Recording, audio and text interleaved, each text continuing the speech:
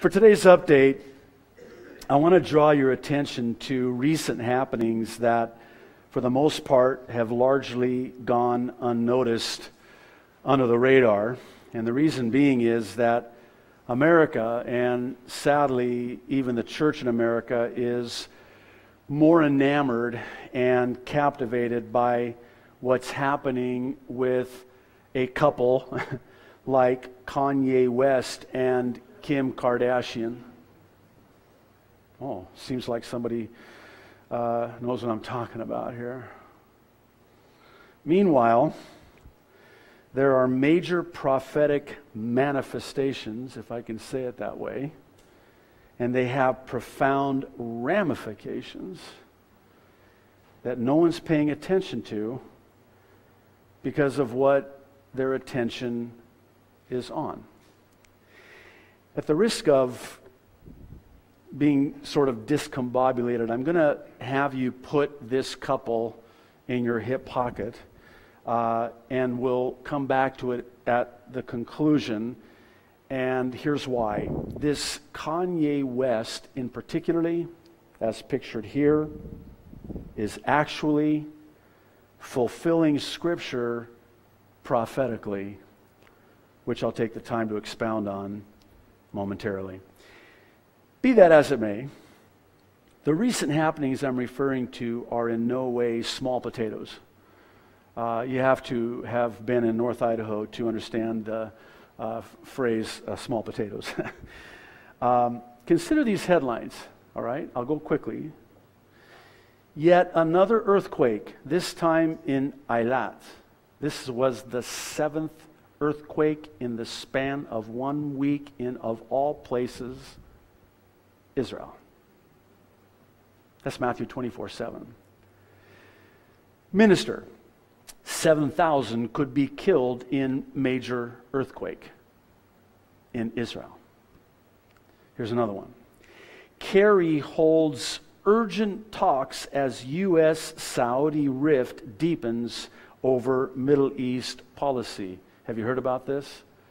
Apparently, Saudi Arabia has had it with the United States because of one phone call between the President of the United States and Rouhani of Iran. And they were under the impression that we were going to take action in Syria and didn't. And by the way, this is all about oil or if you understand Ezekiel 38, spoil. This is Ezekiel 38, verse 13. Sheba and Dedan or Saudi Arabia. Listen, this is right off the pages of Scripture. This reads like the pages of Bible prophecy. How about this one? Iran talks. Kerry didn't persuade Netanyahu. This is Ezekiel 38 5. This is Iran listed by their ancient name, Persia. And there's this one EU to relaunch membership talks with Turkey. Turkey is also in Ezekiel 38, verse 6, to Togarma. How about this one? GAFCON, former spiritual powerhouses now hostile to Christian faith. This is 2 Timothy 3, verses 1 through 5, amongst others, about how in the last days it will be very unpopular to be a Christian. Syria, blast near Damascus, airport triggers blackouts. Is that not Isaiah 17? Murders at weddings and attempted assassinations. Is this what Egypt has become? Is that not Isaiah 19? Isaiah 19 tells us what's going to become of Egypt. I had someone mention uh, to me and share with me how that I forget who it was. I have the memory of a gnat. That's all the drugs and drinking I did before I came to Christ. It kills so many brain cells. Let me think here. Anyway, basically, the gist of it was they had someone come to them and say, Show me in the Bible where what's happening in the Middle East is prophesied. And oh my goodness, they took them right to Isaiah 19 and, and you know, eyes like this. Egypt, Egypt, Egypt. Isaiah 17, Syria, Syria, Syria. Sy- How about this one? Israel strikes Hezbollah bound missile shipment. That's Psalm 83. How about this one? Abbas says he's ready to meet with Netanyahu. Yeah, right. That's Zechariah 12. Now, what if I told you that not only are these just a few of the headlines, but that they were all published within a 48 hour news cycle just last week? And that's just a few of them by the way. I had to delete like a jillion of them to try to keep the teaching within a four hour block. but here's the thing even if you go back further than this 48 hour news cycle, what you find is even more exciting. Consider these previous headlines and just a couple of weeks back. Pope plans to visit Israel as early as next year. Is that not in keeping with the nine month timeline that Secretary of State John Kerry gave. Abbas calls for peace and praises terror on the same day while they are saying peace and security 1 Thessalonians 5:3 Palestinian president listen to this hopes to use pen from pope to sign peace treaty Daniel 9:27 Is everybody okay here Daniel 9:20. I don't know how. You can't make this up. This is exactly what we were told by the prophets of old would come. It's coming. And this last one Israeli strike coming. Netanyahu all but said, We're going to make a, launch a preemptive strike against Iran. Uh, we happen to uh, take very serious when someone crosses a red line, unlike uh, other uh, Anyway, I'll leave it there. Here's where I'm going with all this. The common thread woven into the fabric of these and all the other headlines were foretold in Scripture. In other words, the Bible gives us detailed descriptions of what the world is going to look like and be like right before the rapture. I believe that everything that is currently taking place in the world today is pointing to the soon return of Jesus Christ to snatch his bride away. It can come at any time. Nothing has to happen before the rapture happens. Damascus, Isaiah 17, does not have to happen. Isaiah 19 with Egypt, Zechariah 12, Psalm 83, Ezekiel 38, et al. None of those have to happen before the rapture happens. Listen to what Jesus said, Luke 21 28. When these things begin to come to pass, then look up and lift up your heads, for your redemption draweth nigh. John 14 29. I have told you now before it happens, so that when it does happen, you will believe. God doesn't want us ignorant concerning end times events. He wants us to know so that we'll be ready and believe. John 13, 19, he echoes the same thing. I am telling you now before it happens, so that when it does happen, you will believe that I am he. Well, what did he tell us was going to happen before it happened? What are the things he said to watch for that when they begin to pass, that it meant that we were to look up because our redemption draws near? Well, I believe he told us that there would be many who would mock and ridicule and blaspheme. This is where Kanye West comes in. I need to go on record, and I appreciate your patience. We won't be much longer. I need to go on the record so as to st- set straight the record. And listen to me. Kanye West, amongst all of the other musicians, rock bands, artists, if you want to call them that, without exception, have sold their soul to the devil and they are demon possessed. And if you think that's ridiculous and it's just a gimmick, then please, you are to be pitied and you are to be prayed for because you have been deceived. These people have sold their soul to the devil for all the fame and the sex and the drugs and the rock and roll and the money that they could ever want. This is a demon possessed man. And his demonic possession, I need to calm down just a little bit here. This is how I came to Christ, by the way, at age 19. I was heavily involved in satanic music. And I came to a saving knowledge of Jesus Christ, and I knew He was real because I knew that Satan was real. And I knew that Satan was real because of the music I was into. And I figured if Satan is real, that means Jesus has to be real. And here's the thing why are all of these musicians and these rock bands blaspheming Jesus? Why aren't they blaspheming Muhammad? Let's be an equal opportunity offender here. Why aren't you blaspheming Buddha? Why aren't you dressing up somebody like Buddha or, you know, I could be Buddha, I, you know, and bring him up on the stage? Why is it Jesus?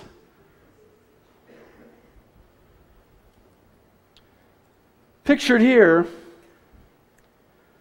is evidence of his satanic obsession by way of his demonic possession in mocking Jesus Christ yet again. And it's not the first time. He has an album bearing the title Jesus. This was in Seattle last weekend, by the way. Man dressed up like Jesus walks up on the stage, only to be met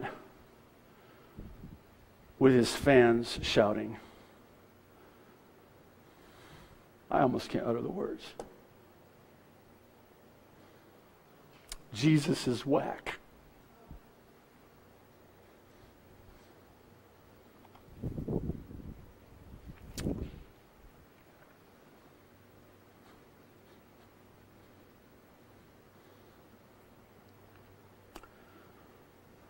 This is 2 Peter 3, verses 3 through 7. He says in the last days they're going to mock your Jesus. They're going to scoff your Jesus and his return. They're going to follow evil desires. But it's verse 7 that keeps me sane. By the same word, the present heavens and earth are reserved for fire, being kept for the day of judgment and destruction of ungodly men. You know what keeps me sane from not losing my mind? Is knowing that a fiery judgment is reserved for this ungodly and wicked man and all those who mock my Jesus in a satanic antic like this. I just have to, like Psalm 73, see their end. When in the end, the psalmist would say, When I entered the sanctuary of the Lord, and I saw their end, and in the end, every knee will bow and every tongue will confess that my Jesus is Lord of lords and King of kings. You will mock him no more. And by the way, when my Jesus comes, he's not going to come riding a donkey. And he won't come standing trial. And he won't come dying on a cross. He's going to come blazing as God Almighty. You'll see. You'll see. I'm not pointing at you. I'm sorry. You're going, whoa, hey.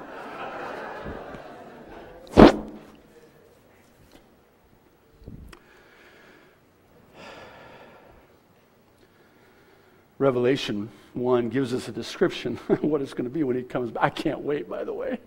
Hey, we're going to be there, you know. At the rapture, he comes for us. At the second coming, he comes with us, ten thousands by his side as his bride. I can't wait. I'm actually asking for reservations for a front row seat for certain. He comes in the clouds, his uh, eyes are fire. And these Kanye Wests are going to fall to their face in terror. Why don't y'all stand?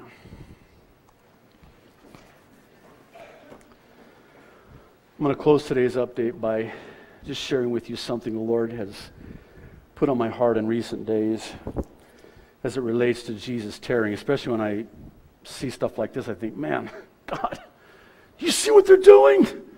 What, like God isn't up there going, when did they do this? I know that's dorky, but that's how I think. Let me preface this by just kindly asking you to please not let the enemy distract you so you tune me out. I really need for you to hear me out, especially if you're one who is in the midst of a trial right now in your life. Maybe you're going through some very, uh, you know, diff- hard difficulties, financial difficulty, marriage difficulty.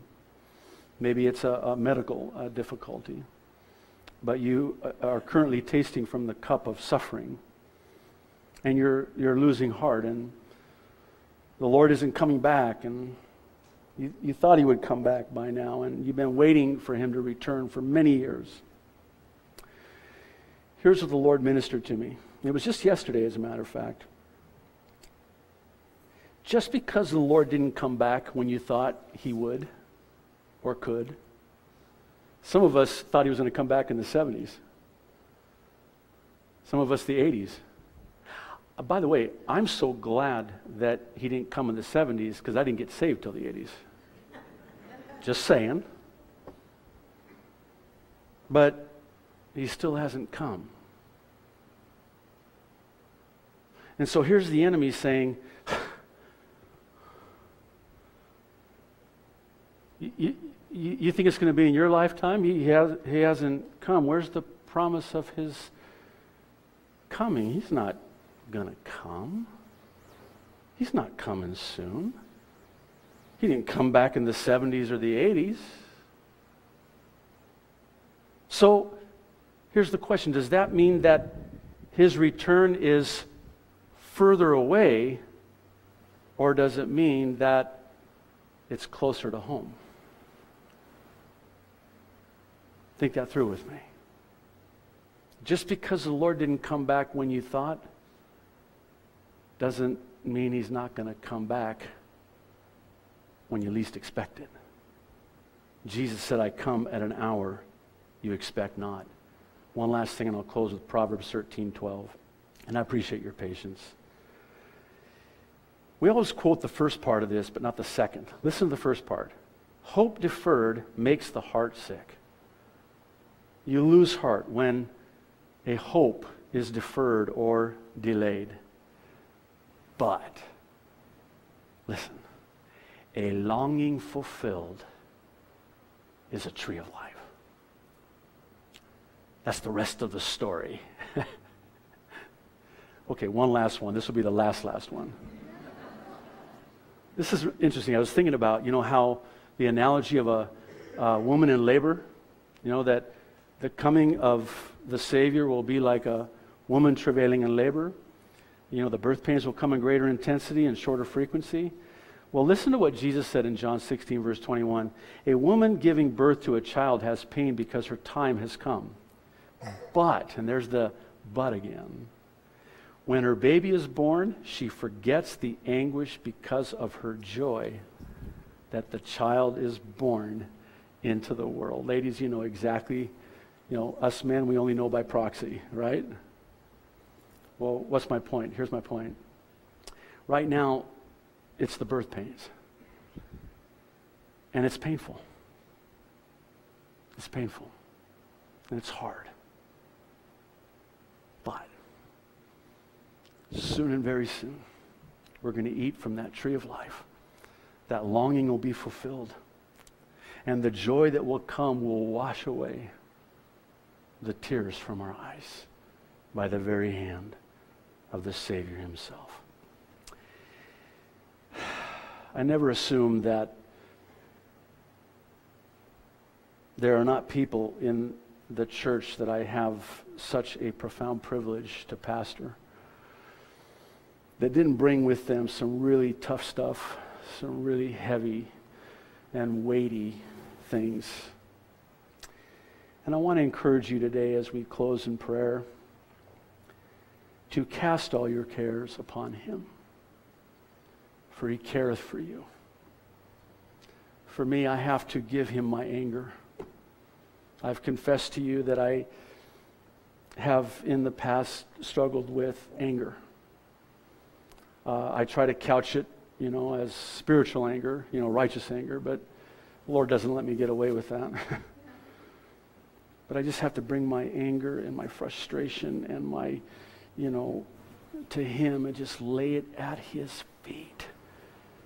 And don't sneak back in this afternoon, you know, 2 o'clock before kickoff and try to take it back.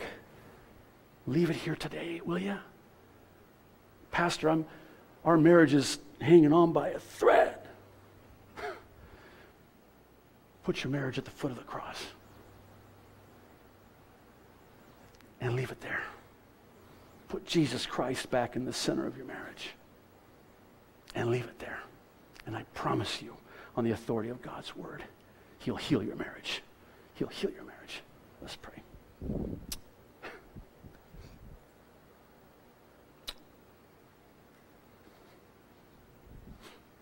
Lord, thank you.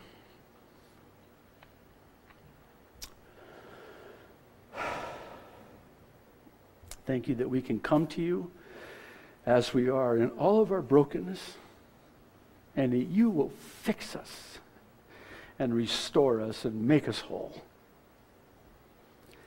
Thank you, Lord, that knowing we have the rapture to look forward to makes whatever we're going through in this life easier to get through, knowing that soon and very soon that longing will be fulfilled, that trumpet will sound, and the dead in Christ will rise first, and we who are alive and remain will be caught up to meet you in the air. Lord, come quickly. Maranatha. In Jesus' name, amen.